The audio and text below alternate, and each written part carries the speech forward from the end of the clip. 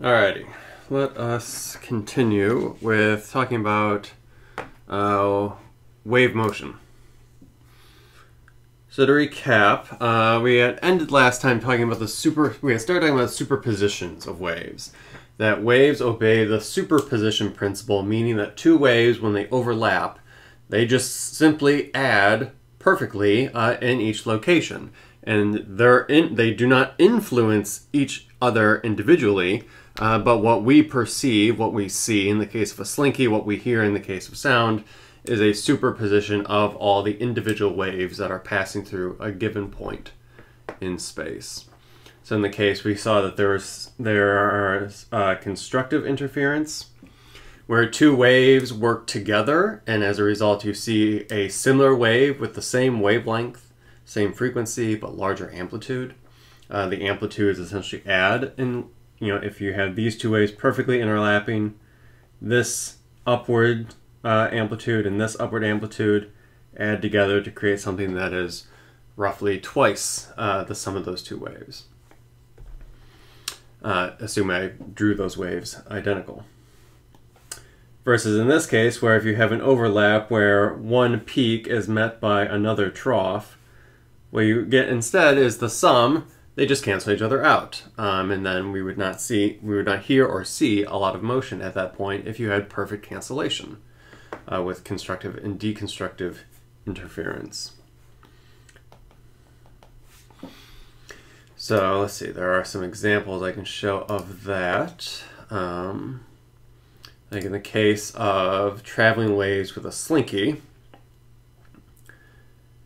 you know, waves that are going down a slinky. So here I am, here's John. We're hanging out in the hallway of Galileo. You know, I could take a slinky, I could jerk it at my end uh, with some frequency. That creates, in this case, a wave pulse. Um, or in this case now, I'm actually creating a wave. That travels down the wave. You might have noticed that when I send the wave pulses down, I think you can actually see it better if I do it in the side view, yeah. Um, so you'll see that when I send the wave pulse down, it hits John and comes back. There's a reflection, which we'll talk about in a second. When it hits a new medium, uh, or a change in a medium, waves can reflect. Uh, and, and, if you look at, in this case, uh, in the instances where I send multiple waves or a wave down, Sometimes the wave that's going to the right interacts uh, either constructively or destructively with the wave that is returning. And you get you know more interesting motions that result as a result of the fact that I have waves that I keep sending to the right. There are waves that are bouncing back and coming back to the left. Sometimes they're adding together, sometimes into constructively interfere, uh, creating waves that have larger amplitudes than the ones I'm actually making like this case.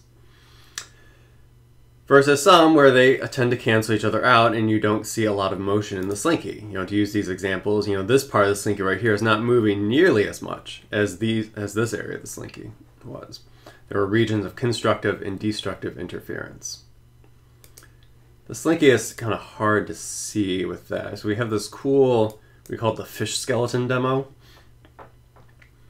where if you were to look at this weird contraption from a bird's eye view, it kind of looks like a fish skeleton, which is why we call it that. It's a bunch of individual um, little rods of metal that are all attached by little springs in the very center, such that they can all move individually, um, but they're coupled to each other. There's slight springs that make that allow us to do wave motion uh, throughout the medium. And what's nice about this is that it's set up in a way such that the wave speed is fairly small, so we can actually, it's much easier to see a traveling wave go down uh, the skeleton. So in this case, again, notice uh, there's a reflection. When I send a wave pulse that moves to the right, uh, it reflects back. It reflects back in the same way. It didn't flip over like it did for the spring or for the slinky rather, uh, but more on that in a second. Here what I'm trying to demonstrate is eventually I will get to a point where I send multiple um, pulses down and one of them will bounce back, and then we will see what happens when the two pulses interact with one another. You can see constructive and destructive interference.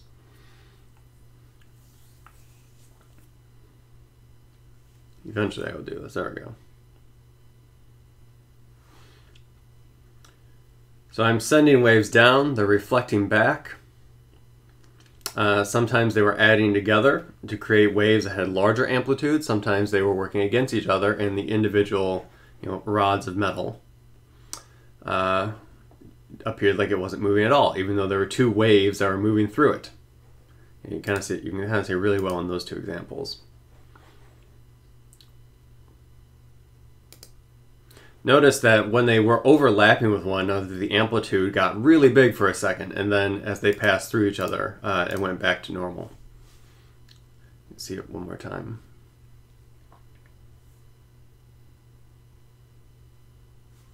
Yes, it was like right there where it got really big for, for as they passed through one another.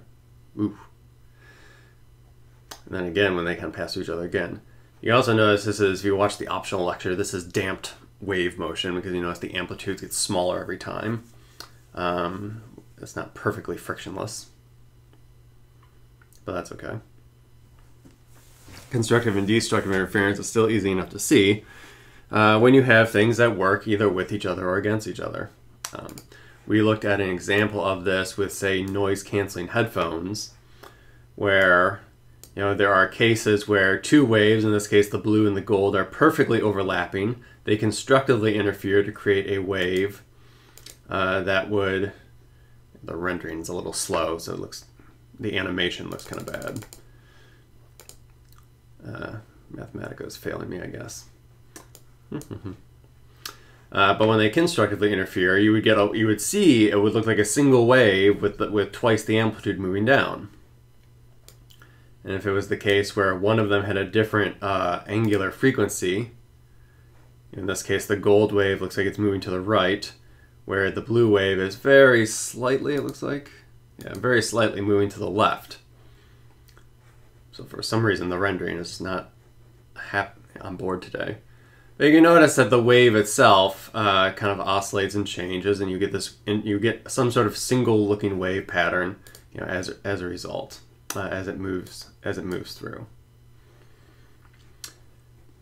And the idea again with noise canceling headphones, you know, if the gold wave were no, was the noise and the blue wave was the music you're actually trying to listen to, the idea with a noise with noise canceling headphones is that they noise canceling headphones simply tries to reproduce uh, the the wave of the noise, but make sure that it's offset by 180 degrees. Um, so as a result, you know, the green and the gold, then whenever there's a peak, there's a trough, uh, and whenever there's a trough, there's a peak for between the gold and the green, they end up canceling each other out perfectly. Then the only thing that's left is that blue curve, which was the music you wanted to hear in the first place. You know, using constructive and destructive interference uh, is essentially the idea behind noise canceling headphones.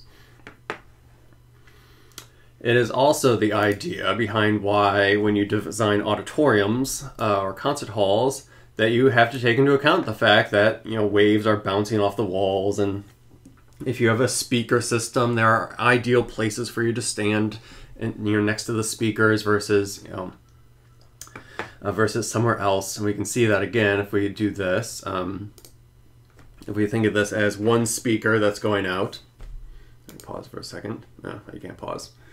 I guess again. Reset. So this kind of medium gray is supposed to mean zero. So you, if this were sound, you would hear nothing if you if you were in the region where you had this like medium gray. Versus the peaks and the troughs are being represented by white and black.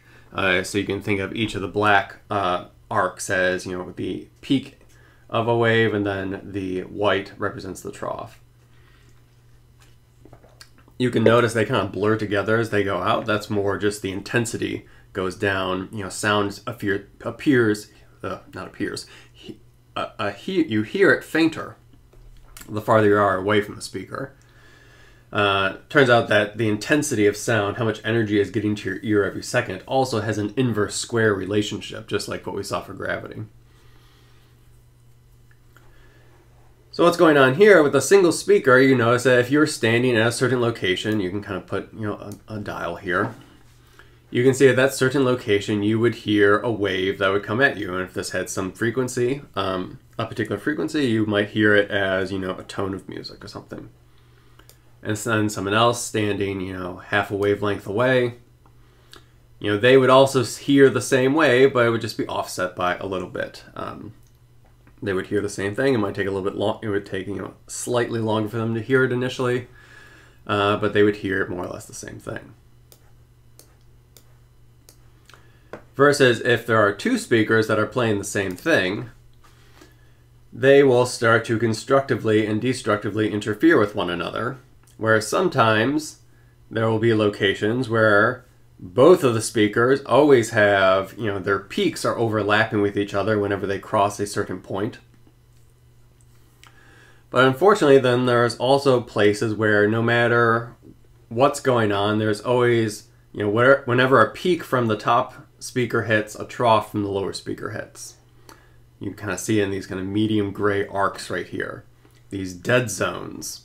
Or again, if I were to put, you know, a, a sensor there, Notice what they ultimately hear is something that appears very slight uh, compared to what, say, someone right here would be hearing. Uh, the this sensor, this this sensor here, um, essentially is in a dead zone where that would be not a great place for them to stand if they wanted to hear this music. Essentially, they're always getting destructive interference from the two speakers. Uh, they would it would be much harder for them to make out the sound versus this person is actually in a pretty good spot. They're at a location, you know, or I can move them here. You know, they're at a location where these two wave functions are always constructively inter uh, interfering with one another. They're working together or adding together. Or in this case, they're canceling each other out. Uh, and then if one of the speakers were to turn off, you know, the wave would eventually make its way out and they would eventually start to hear the same thing notice the amplitude of the, the dead zone went up. The amplitude of the person who initially had constructive interference uh, decreased back down because it's now just a single wave that they're hearing. You know, I could we could demonstrate that, but just one at a time. You know, so here's the person that's going to be in the dead zone. They're initially hearing this. The second speaker turns on. Eventually, the waves start to destructively interfere with one another uh, they ultimately don't hear very much. Then if the speaker turns off, one of the speakers turns off, it eventually returns back to normal. Actually, I need to know where the constructive interference is. Versus the, se the second person, So if someone was standing kind of in the middle between the two speakers there, you know, with one speaker they hear a particular waveform, then when both speakers turn on, there's an adjustment where they happen to be in a sweet spot where there's constructive interference and notice the amplitude that they would perceive goes up. The speakers work together, they would hear a larger sound the result of two speakers compared to just one. That is the idea behind constructive and destructive interference.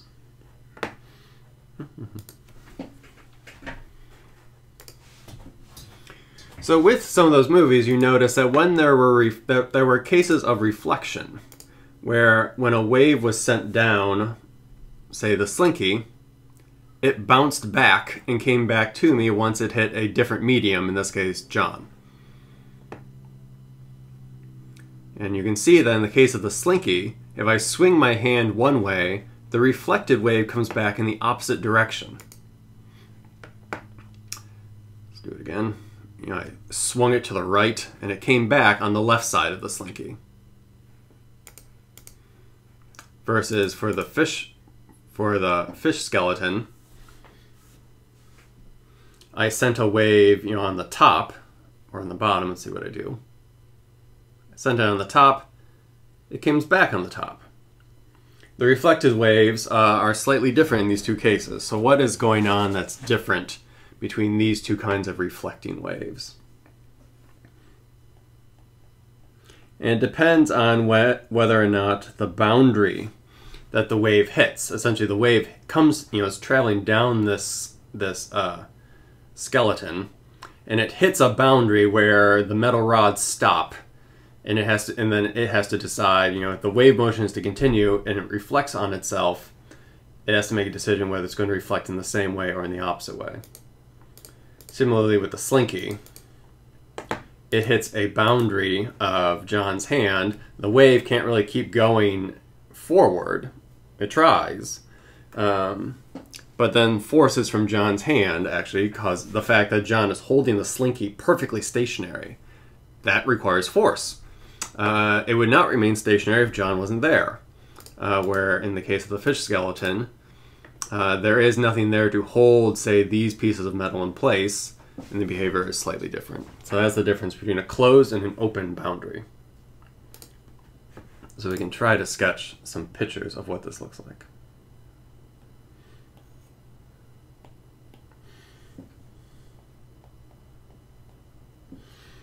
Let's do the case of if it's a closed boundary. Um, so it could be the example where I'm holding the rope and I send a pulse down that is traveling down the slinky or the rope or whatever, and it gets to a region where it is firmly attached to a wall or someone's hand or you know something that is a fixed say a fixed wall say. What happens is this that this pulse travels and travels and eventually comes to a point where it reaches the the uh, the wave itself reaches the wall. And if we analyze what's going on with the rope itself, you know, here's the wave. It's traveling this direction. This is again an example of a transverse wave. The wave itself is moving to the right. Though the individual elements of the slinky or the spring or whatever it is uh, are not moving to the right, but they are instead moving up or down, up and down in this case. Their individual motion is perpendicular to the wave motion, which is the definition of a transverse wave. And this results from, you know, tension forces, say, uh, that are being applied along the rope, the slinky, the what have you, that are causing some net acceleration, either up or down, which creates the oscillatory motion.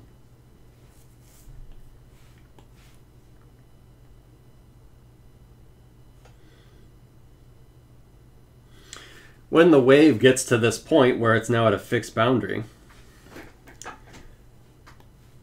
this particular molecule of Slinky um,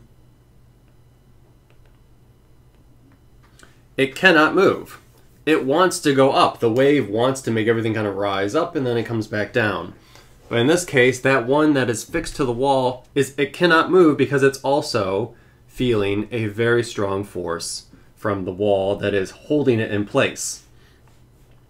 The slinky itself is trying to move that molecule up, but then the wall itself, um, there's a force from the wall that is tugging down on that on that string or that piece of the slinky or the string to make sure that there's no net acceleration.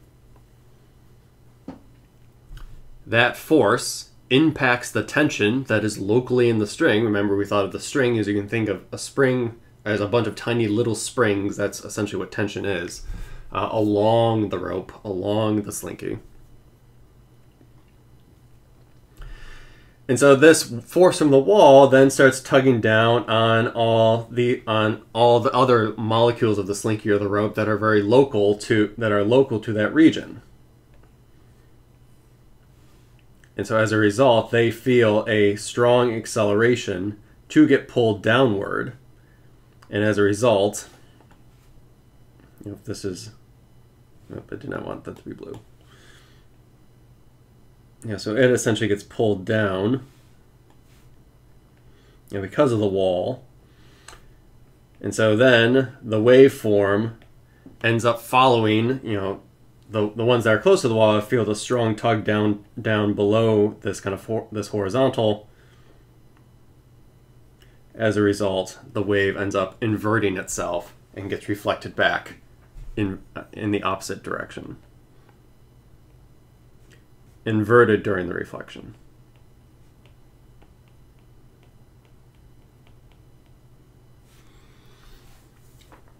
Somehow that says during. So when you have a fixed closed boundary, the reflection is an inversion, which is what we saw with the slinky. Um, the force from John's hand essentially exerts a very strong force on the uh, the medium that the wave is traveling down, and it inverts itself, in this case, for a transverse wave.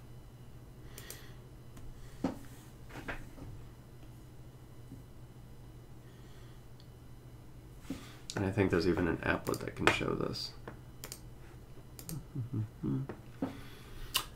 Yeah, so this is, I guess, like this the little simulation version of this, where uh, if you have, you know, a pulse that you can just send out into the air, uh, and just keeps going. If there's no medium change, you know, abrupt medium change has to deal with. If you keep it fixed, what happens is, right, so because this one particle is not allowed to move, even though it feels a strong force to move for the, the slinky or the rope in this case to move it upwards when the wave is traveling to the right. That results um, in a strong force that comes from the wall, from whatever is holding the wave medium fixed, uh, which causes it to reflect back. And then they can even interfere with one another if I send multiple pulses. Oh dear. Okay. Now the question is, what happens if now there's a loose end? So the idea with the loose end is it is free to move, um, but it is free to move on this end, but it's still constrained, you know, to be along, say, this, you know, the wave traveling along this string, for example. Uh, so in that case, the pulse does allow the object to move, uh, even the, the molecules, the pieces of the rope, the string, the what have you, uh, that are at the very end. They, it is free to move. And as a result, um, it just follows, it just goes along for the ride, essentially. Uh, that bead on the end also undergoes a simple harmonic oscillation.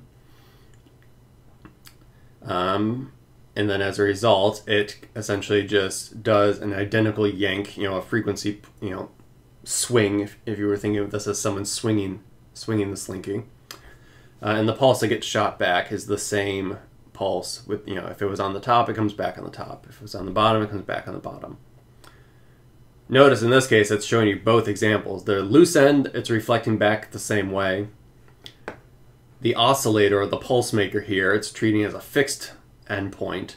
So notice that the fixed endpoint, it gets reflected back inverted or in this case, it gets reflected back in the original direction. So essentially, it's the difference of the what are your boundary conditions. There are different constraints that are being that have to be obeyed at the ends of uh, the rope in this case.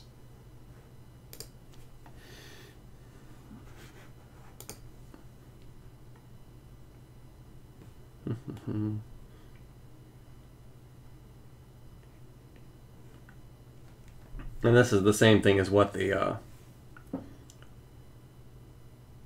what the fish skeleton demo is like as well. Um, essentially, it is free. Nothing is constraining the the pieces of metal on this end as well. It can just you know if it if it, if the springs want the thing to oscillate upwards, it will oscillate upwards. But since they're all tied to one another through springs in the center. That oscillatory motion impacts what's going on nearby, uh, and it gets reflected back.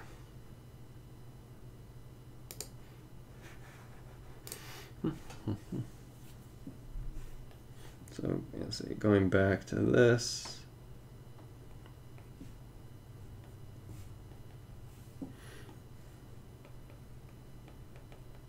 So for an open end, it's reflected without inversion.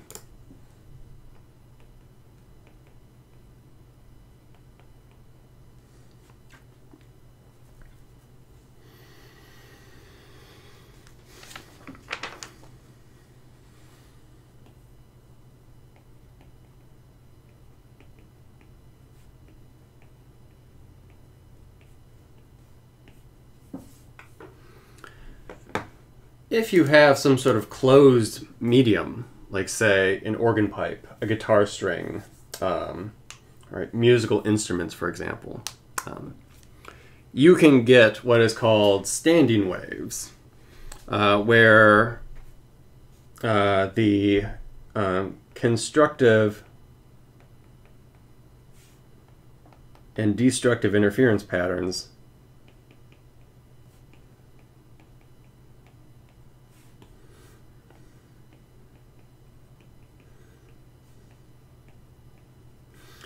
make the wave appear fixed.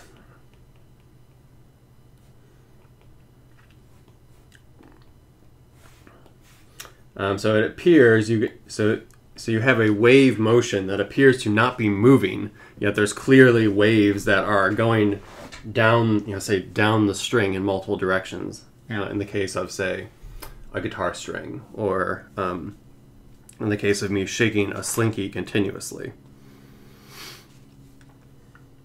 So I think it's as easiest to show this via example.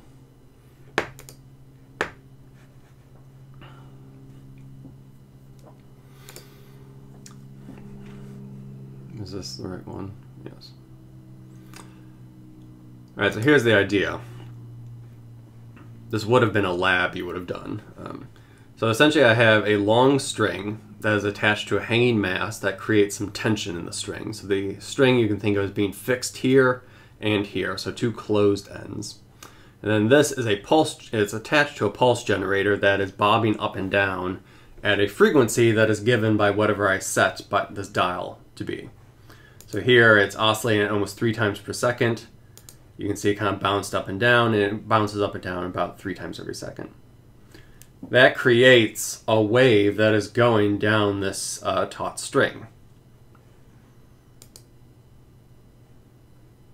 The idea is if I ramp up the current, sorry, not the current, the frequency,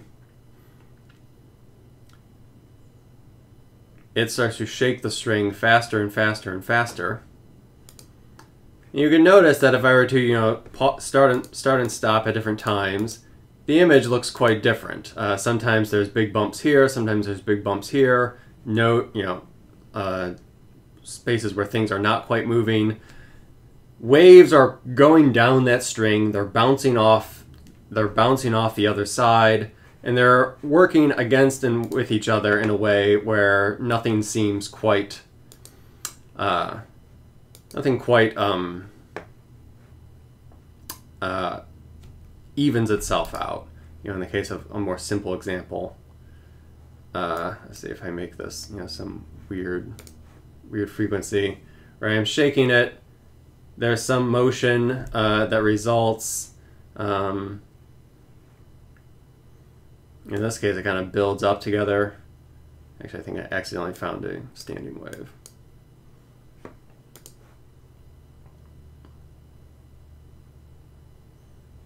Right, where the peaks are like are constant are are changing frequently, though not quite as much. Uh, here is what I'm seeing. I'm doing a terrible job of this. Let's go back to the movies. Uh, I definitely can do this poorly with this with the slinky. Yeah, in this case, right. You know, I'm shake I'm shaking I'm shaking the slinky. I'm sending waves down. Waves are coming back they're not necessarily uh, you're not getting nice standing patterns where it looks like nothing's moving. You know, you can clearly tell that things are moving. I can see kind of some wave motion that's going, you know, to the left and to the right. Where the peaks and troughs are seem to be changing. As opposed to when I do something like like this, where again, like the points here don't really seem to be moving. Just kind of seems instead of looking like a wave is moving down to the right or, or back to the left, it just looks like the spring is bouncing up and down. Uh, everything appears more or less stationary except uh, in the perpendicular direction. All right, so in this case, uh, that is an example of a standing wave. I see, I try to find it here.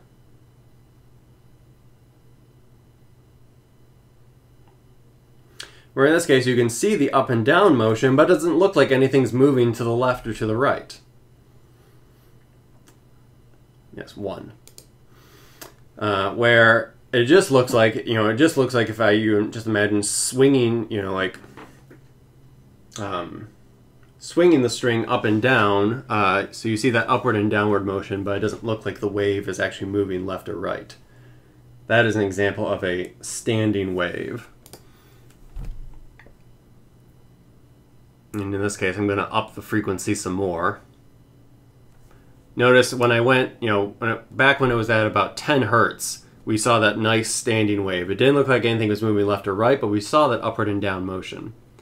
Now I've adjusted it away from that value. And I can see the wave motion again. I can see that sometimes this area wiggles more than this, than this uh, where I see the peaks and troughs appear to be changing. I have a sense that there is some sort of traveling motion. But then as I up the frequency to about 20 hertz or so, notice again we get an example of a standing wave. I can't really tell that the wave is moving left and right, but I do see it just moving up and down. This point right here, right in the middle, appears almost to be perfectly stationary. In fact, it would be, it is perfectly stationary if it's exactly right, uh, if we found exactly the right frequency to make this standing wave, where all the waves I'm sending to the right are all interacting with the waves that are coming back um, to the left, such that the, you know, they constructively interfere at some locations and you see really big amplitudes, and they all perfectly create a net a destructive interference right, right here at the center, and that piece of the string is essentially stationary.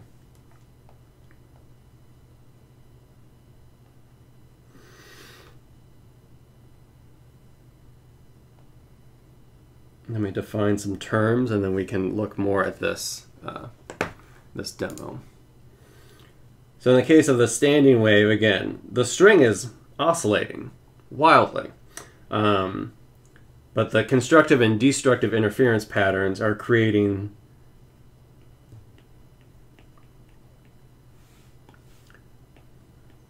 are creating nodes where which have little to no motion.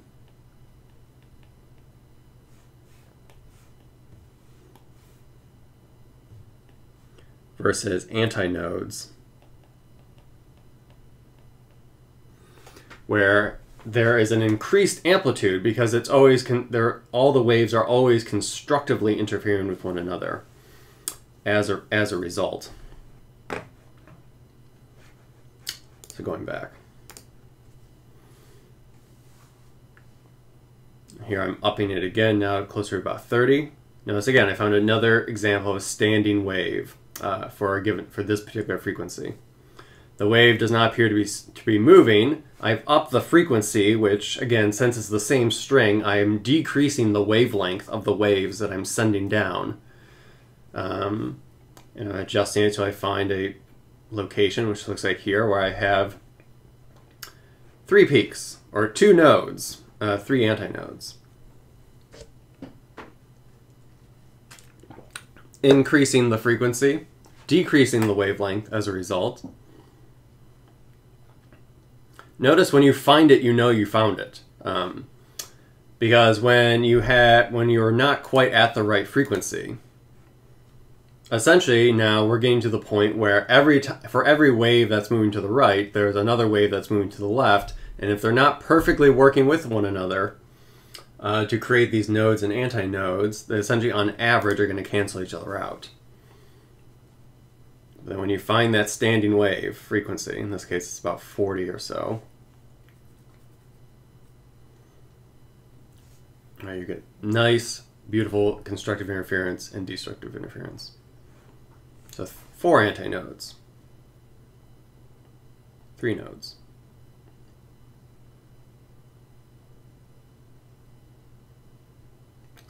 I have found the next possible standing wave.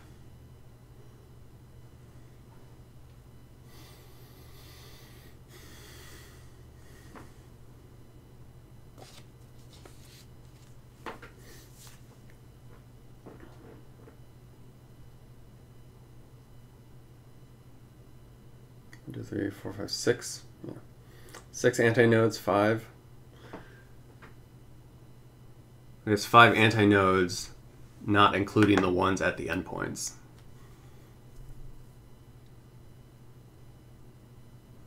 Yes.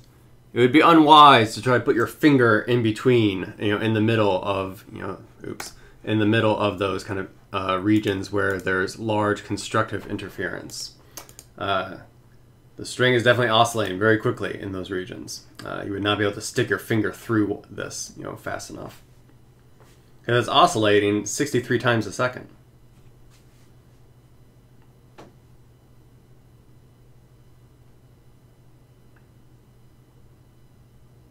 Mm-hmm. See how when you get close enough and find it, the amplitude really shows itself. It's not perfect. Notice it's kind of fluctuating a little bit, so I didn't quite perfectly find it there.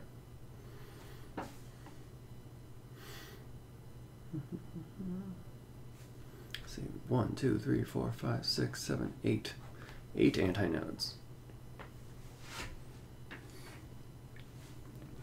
So this is also demonstrating that this does not occur for any arbitrary frequency there are very particular frequencies that will work in this case.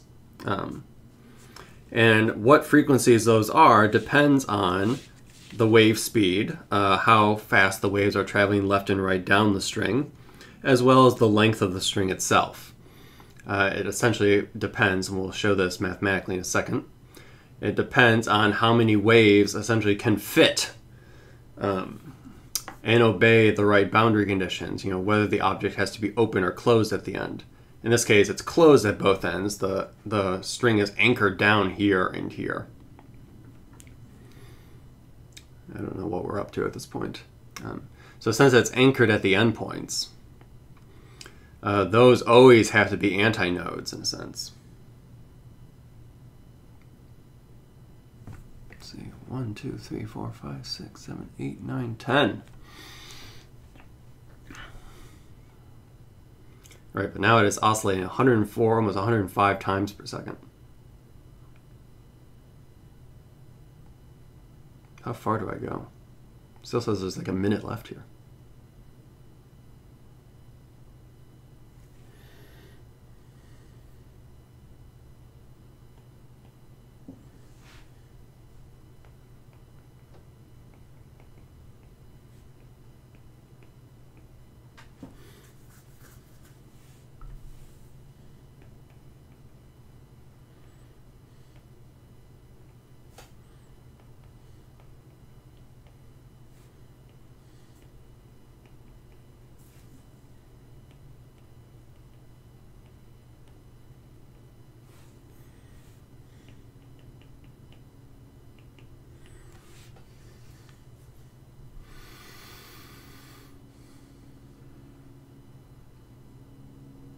Surely this is the last time I try those. Wow, I go all in.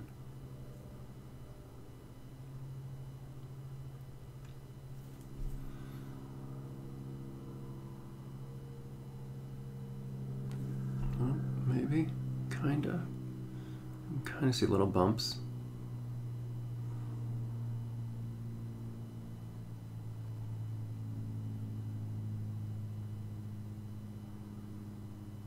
Second decimal spot now.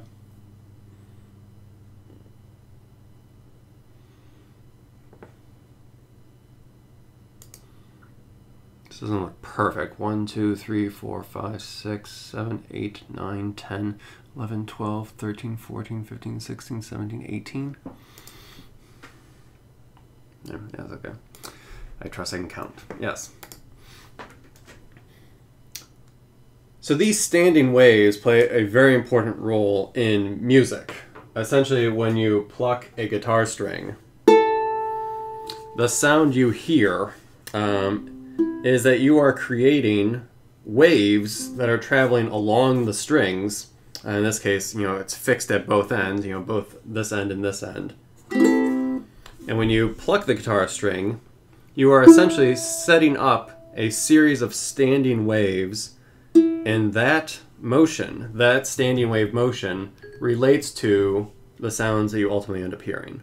So the fact that I can pluck this guitar string and get a particular note versus if I change the length of the string by putting my finger down on, on the fretboard and it changes the note that's being played, um, I have adjusted the length of the string such that there are different standing waves that can then be created, uh, which then ties into the note I ultimately can hear.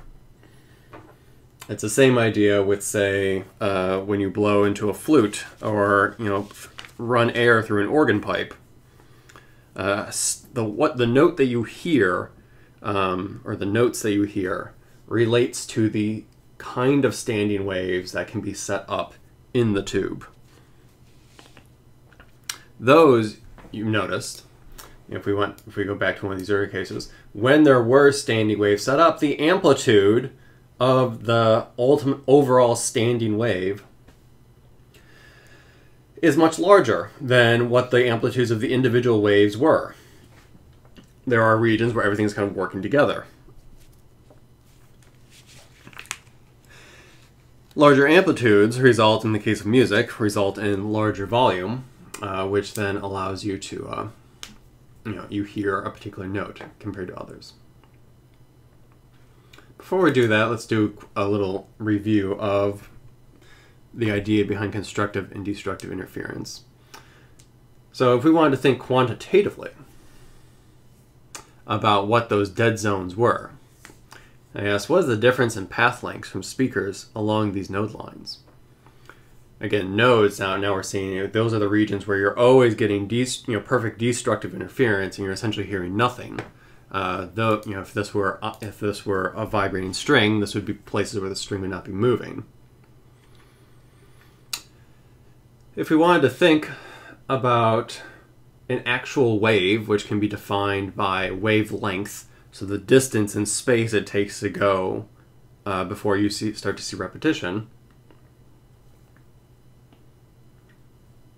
Remember that destructive interference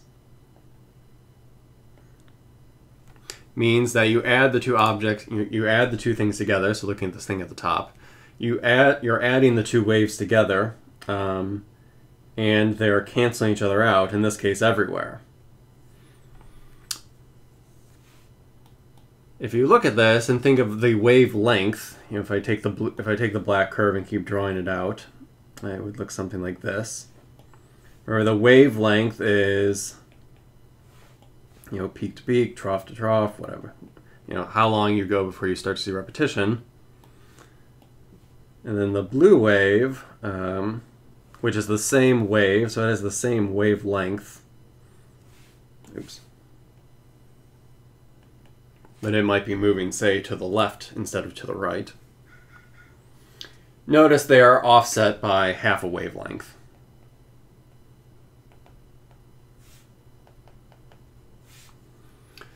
Offsetting by half a wavelength means that wherever one of them has a peak, the other one is at its trough, etc. Uh, so in that case, everything always cancels out. So the answer in this case would be B. They are offset along half a wavelength. Um, so if you had a particular sound that you wanted to play through a speaker, you could actually identify exactly where these dead zones are going to be. Um, and then usually with concert halls and whatnot, you construct the acoustics of the walls, the roof, what, what have you, so that you always get some reflection uh, that doesn't result in perfect destructive interference like this. You don't have any dead zones. Ideally, you want to amplify um, and have constructive interference whenever you can, and to minimize the locations where you get destructive interference. Um, it's inevitable, you'll always have some of that, uh, but ideally that destructive interference is, you know, somewhere in the air, uh, not where someone is sitting. Because uh, presumably no one is floating up, you know, in the middle of the concert hall. Uh, so there's de destructive interference up there, who cares? Uh, you just don't want destructive interference where people are sitting.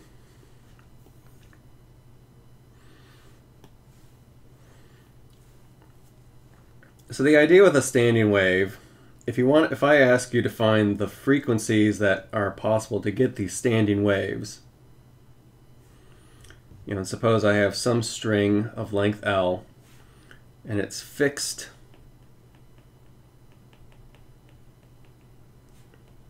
and it's fixed at both ends. A way that I could figure out the possible standing waves is to ask myself, you know, if I'm going to shake this string at a particular frequency, um, I wanted to set I wanted to set up so that there are, um, you know, some form of some fraction of, of a wavelength uh, or some multiple of a wavelength, such that there's always two uh, um, nodes, dead zones, dead points uh, at the very ends because those ends are fixed. They cannot move. They are constrained to always be. You know, I could not have a wave that looks like that looks like this, for example, because there is a contradiction that the string is fixed here, yet the string itself is all the way up here. So whatever I draw has to have, say, you know, the string, you know, coming out, you know, in these directions.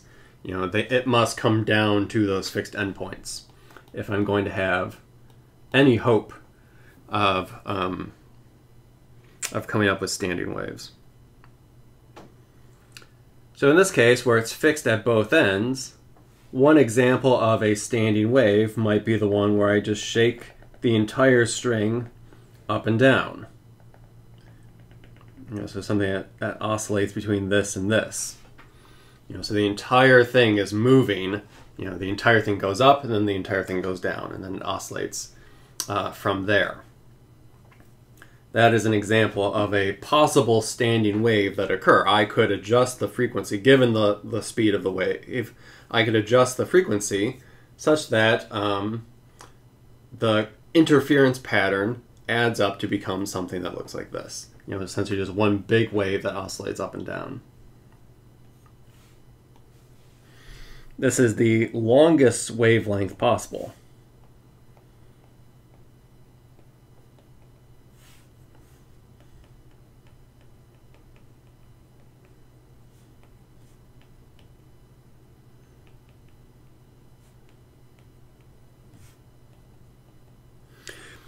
Particularly, this is the longest wavelength possible for a standing wave. If I want to create a standing wave, this is the longest uh, possible wavelength uh, that I could find. Um, I can't find one that's longer because uh, finding one that's longer it means you know the distance between individual peaks and troughs, for example, gets even bigger.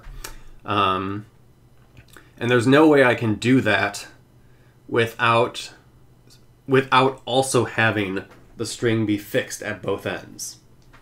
You know, again, just to show you another example, I can't have, say, the string start here and come out and end here.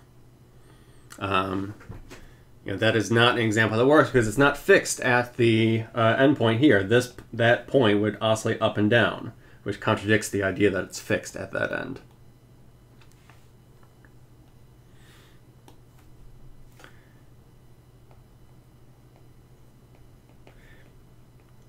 This longest wavelength is called the fundamental tone.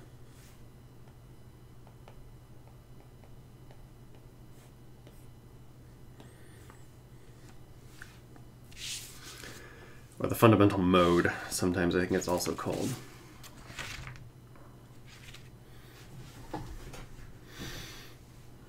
That occurs when you have this right balance of, you, know, you might hear the word re, you know, resonances uh, uh, used when talking about this. Um, the right combination of interference patterns that create a standing wave that has the longest wavelength possible, which is called the fundamental tone.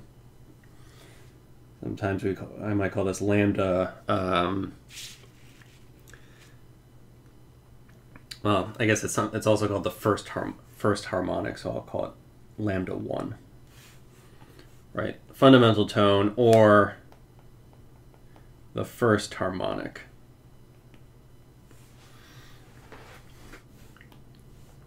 In this case, L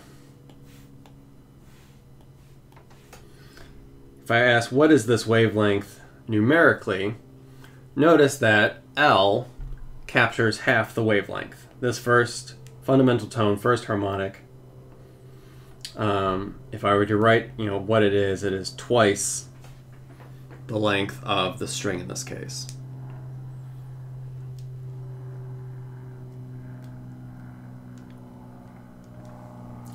This ends up being the note you hear when you pluck a, a piano key or when you pluck a guitar string. You know, when I, you know, I have a little tuner here. You know, when I take my tuner um, and I pluck a guitar, and I pluck, in this case, a string, and it says, right, that I'm playing A, there is a frequency that corresponds to to that particular note. Um, what I'm hearing here, the note that registers uh, in a tuner, or the notes that you learn are associated with particular piano keys, uh, that is the fundamental tone of that of that uh, note or string. You know, in the case of a piano, where keys are actually plucking you know strings that are inside the piano, each of those strings have a particular tension.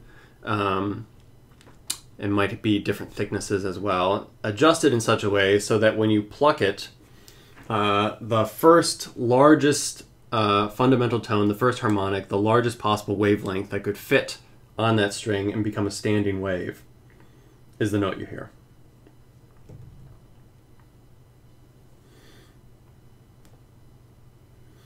But like what we saw in the demo, that is not the only possible standing wave that can fit um, in this case. In this case, we saw another example could be that if, again, if I require that it's fixed at the endpoints, uh, another possible standing wave could be it comes up, comes down, comes back up again. And so then it oscillates between these two. You know, oscillates up and down here. There's a there's a node right in the center. And this is another example. This is again to remind us the node where that piece of the string doesn't really move, but the other ends of the strings, you know, in between all of these these three nodes, um, you get very large amplitudes. This is the second longest wavelength that fits. So this, unsurprisingly, is called the second harmonic.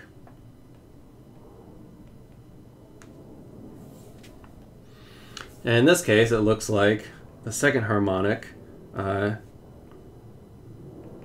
is the same length as the length of the string. I complete one full wavelength when I go from one end of the string to the other, which has length L.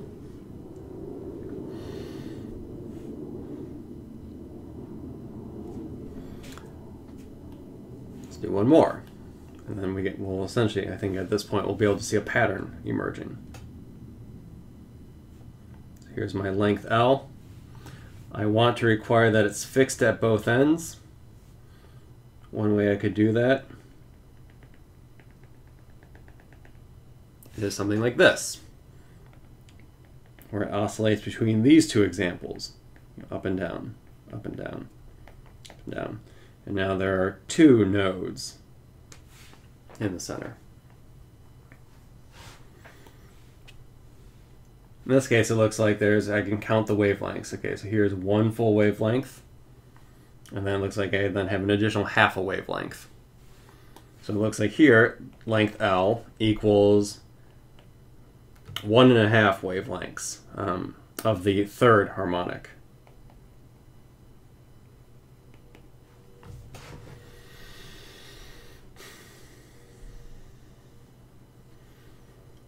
So in this case, notice that we had, for the fundamental tone, we had, it was lambda over 2. For the second harmonic, it was 2 lambda over 2, or just lambda. With the third harmonic, it was 3 lambda over 2. In general, you can convince yourself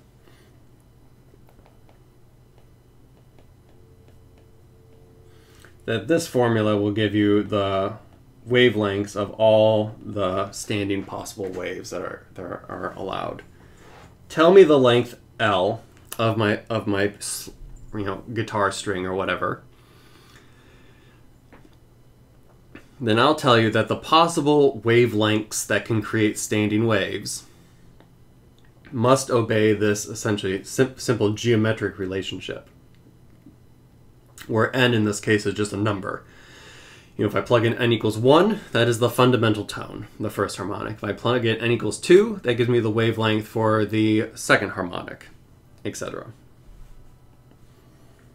Uh, or if I wanted to write this in terms of lambda itself, this would say that 2L over n, where n can be 1, 2, 3, 4, etc.,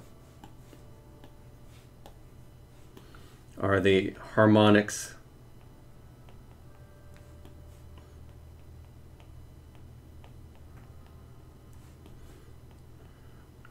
you might say the harmonics of a closed closed uh, system or instrument. Those are what those are the possible standing waves that are that are allowed.